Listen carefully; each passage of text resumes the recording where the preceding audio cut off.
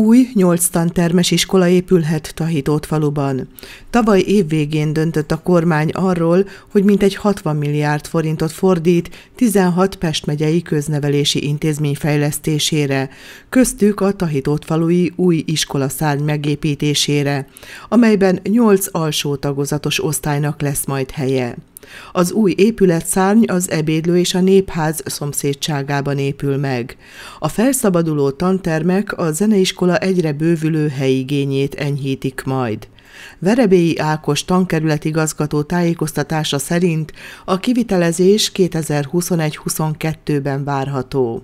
A beruházáshoz Tahitót falu önkormányzata biztosítja a területet, a kivitelezés lebonyolításáért a támogató hatóság felel majd.